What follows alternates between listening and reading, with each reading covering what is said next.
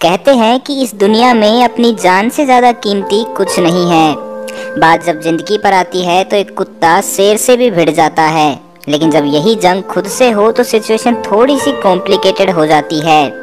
आज हम एक ऐसे ही इंसान की बात करने वाले हैं, जिसने खुद को बचाने के लिए खुद को इतना दर्द दिया कि अगर आप और मैं उस जगह होते तो शायद यही कहते कि इससे अच्छा तो मैं मर ही जाता। तो स्वागत है आज उस इंसान की कहानी, जो आपके रोंगटे खड़े कर देगी। ये कहानी है एरन रोल्स्टन की। 27 अक्टूबर 1975 को जन्मा ये शख्स पेशे से एक मैकेनिकल इंजीनियर था। लेकिन पता नहीं कहाँ से इसके सर पर माउंटेनियरिंग का भूत सवार हो गया। अब भाई साहब ने इस शौक को पूरा करने के लिए अपनी जॉब से भी रिजाइन दे दिया और निकल पड़े माउंटेनियरिंग की दुनिया का चैंपियन बनने। दरअसल रोल्स्टन का एक सपना था कि उसे कोलोराडो की उन सभी पर्वत चोटियों पर चढ़ना है जिनकी हाइट कम से कम चौदह हज़ार फीट है। और रोल्स्टन ऐसा करने वाला पहला इंसान बनना चाहता था। आपको बता दें कि इस लिस्ट में टोटल तिरपन पर्वत चोटियाँ हैं। इसलिए इस गोल को अचीव करने के लिए उसे कड़ी मेहनत और प्रैक्टिस की ज़रूरत थी। सो प्रैक्टिस करते करते एक दिन रोल्स्टन ने कैनियरिंग करने की सोची और इसके लिए ब्लू जोन कैनियन को चुना। ब्लू जोन कैनियन एक स्लोट कैनियन है जो कैनियन लैंड्स नेशनल पार्क में स्थित है। दरअसल स्लोट कैनियन ऐसी सक्रिय घाटियाँ होती है जो चट्टानों के बीच पानी के लगातार प्रवाह के कारण बनती है। इनकी सबसे खास बात ये होती है कि इनकी गहराई, चौड़ाई के मुकाबले काफ़ी अधिक होती है। 26 अप्रैल 2003 को सुबह रोल्स्टन उस सक्रिय घाटी से करीब 24 किलोमीटर दूर अपनी साइकिल को लोक कर वहाँ जाने के लिए पैदल ही निकल पड़ा। क्योंकि आगे साइकिल को ले जाने के लिए कोई रास्ता नहीं था। फाइनली कुछ टाइम बाद रोल्स्टन उस सक्रिय घाटी के पास पहुँच गया।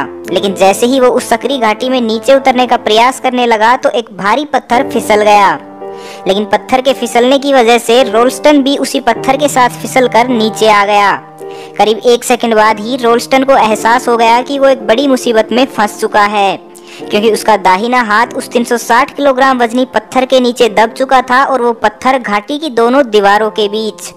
यहाँ एक और समस्या ये थी कि रोल्स्टन ने अपनी स्ट्रिप के बारे में किसी को कुछ नहीं बताया था कि वो कहाँ जा रहा है। और ना ही उसके पास उस समय ऐसा कोई इंस्ट्रूमेंट या फ़ोन था जिसकी मदद से वो किसी की हेल्प ले सके। उसकी किस्मत इस हद तक खराब थी कि जिस घाटी में वो फंसा हुआ था, वो ऊपर से बेहद सक्रिय थी। ऐसे में अगर गलती से भी कोई रेस्क्यू हेलीकॉप्टर वहाँ से गुजरता तो उसे हेलीकॉप्टर से देख पाना नामुमकिन था।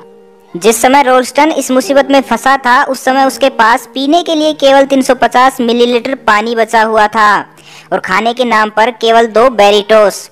करीब तीन दिनों तक रोलस्टोन इसी घाटी में फंसा रहा। इस उम्मीद में कि कोई बचाव दल आएगा और उसे बचा ले जाएगा। इस बीच उसने पत्थर को हटाने की हर संभव कोशिश भी की, लेकिन हर बार उसे केवल असफलता ही मिली। हालात ये थे कि पानी पूरी तरह खत्म हो चुका था और उसे ज़िंदा रहने के लिए अपना यूरिन पीना पड़ रहा था। उसका शरीर डिहाइड्रेशन का सामना कर रहा था। लगातार तीन दिनों तक हाथ में ब्लड सर्कुलेशन न होने की वजह से अब उसका हाथ भी डिकम्पोज होना शुरू हो गया। पाँचवें दिन जब पानी पूरी तरह खत्म हो गया तथा उसकी बॉडी भी पूरी तरह डिहाइड्रेट हो चुकी थी, तब थकान के कारण उसे नींद आ गई। जहाँ उसने एक सपना देखा कि वो भविष्य में अपने बच्चे के साथ खेल रहा है, लेकिन उसका दाहिना हाथ कटा हुआ है। जब सुबह रोल्स्टन की आँखें खुली तो उसने फैसला लिया कि वो इस सपने को सच करके दिखाएगा। लेकिन अपने हाथ को काटने के लिए उसके पास सिर्फ़ एक मल्टी टूल था, जिसमें दो इंच का नाइफ पाइलर्स और कुछ अन्य ज़रूरी चीज़ें एक ही जगह होती हैं। ये मल्टी टूल उसे एक फ्लैश लाइट खरीदने पर मुफ़्त मिला था। यानी ऐसी क्वालिटी के नाइफ के साथ हाथ और स्पेशली हड्डियों को काटना इम्पॉसिबल था। इसलिए रोल्स्टन ने सबसे पहले टॉर्क फोर्स का यूज़ करके, यानी अपने हाथ को रोटेट करके रेडियस और अल्ना बोन्स को ब्रेक कर लिया। और उसके बाद उस जगह स्किन को काटना शुरू कर दिया। दो इंच के उस पॉकेट नाइफ की हेल्प से रोल्स्टन ने सबसे पहले अपने हाथ की सभी मसल्स और स्किन को कट किया। और सबसे अंत में पाइलर्स की हेल्प से टेंडन्स और नर्व्स को कट किया। आपको बता दें कि टेंडन्स और नर्व्स को बिना एनेस्थिया मेडिकल हेल्प और प्रॉपर इंस्ट्रूमेंट के कट करना हद से ज़्यादा पेनफुल होता है। जब कभी हमारी कोहनी किसी चीज़ से टकराती है तो जो करंट हमें फील होता है वो करंट इन्हीं नर्व्स की वजह से फील होता है। तो सोचिए जब आप अपने हाथ की सभी नर्व्स और टेंडन्स को डायरेक्टली कट करेंगे तो वो फीलिंग कैसी होगी? वेल well, इस पूरी प्रोसेस में एक घंटा लगा। इस दौरान रोल्स्टन के टोटल ब्लड वॉल्यूम का 25 प्रतिशत ब्लड बह गया। लेकिन फाइनली एक घंटे बाद रोल्स्टन अपने आप को उस भारी भरकम पत्थर के चंगुल से आज़ाद करा पाने में कामयाब रहे। लेकिन अभी उन्हें 24 किलोमीटर का सफ़र पैदल ही तय करना था।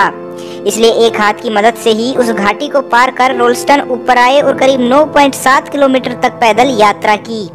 सौभाग्यवश 9.7 किलोमीटर के बाद एक फैमिली ने उन्हें देख लिया जो नीदरलैंड से वहाँ घूमने के लिए आई हुई थी। उस फैमिली ने रोल्स्टन को पानी और खाना दिया। साथ ही लोकल अथॉरिटीज को उनकी हालात के बारे में इन्फॉर्म किया। लोकल अथॉरिटीज ने रेस्क्यू टीम के साथ कांटेक्ट किया जो पिछले कुछ दिनों से उन्हें ढूंढ रही थी, क्योंकि घर वापस ना लौटने की वजह से रोल्स्टन की फैमिली ने एक मिसिंग रिपोर्ट दर्ज करवा दी थी। फाइनली कुछ मिनटों बाद एक हेलीकॉप्टर और डॉक्टर्स की टीम रोलस्टन को पिक करने वहाँ पहुँच गई और फिर उन्हें सुरक्षित हॉस्पिटल पहुँचा दिया गया। इस घटना के बाद रोलस्टन के कटे हुए हाथ को उस घाटी से वापस लाया गया और उसका अंतिम संस्कार कर उसकी राख रोलस्टन को सौंप दी गई। कुछ महीनों बाद जब रोलस्टन पूरी तरह रिकवर हो गए तो उन्होंने एक बार फिर माउंटेनियरिंग की शुरुआत की और फाइनली सभी कोलोराडो फोर्टीनर्स पर चढ़ने वाले पहले व्यक्ति बने। उनकी लाइफ के इन 127 टफेस्ट घंटों के ऊपर एक हॉलीवुड मूवी भी बनाई गई है, जिसमें उनके स्ट्रगल को बखूबी दर्शाया गया है। तो बस आज के लिए इतना ही। मैं मिलता हूँ आपसे अगले शनिवार को शाम छह बजे एक नए रहस्य के साथ। तब तक के लिए खुश रहें, मस्त रहें, हँसते रहें। भगवान करे आप सभी का दिन शुभ हो।